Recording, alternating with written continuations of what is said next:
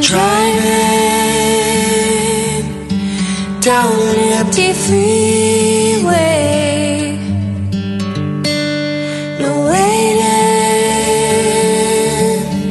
for the light to change. I'm seeing the sunrise behind.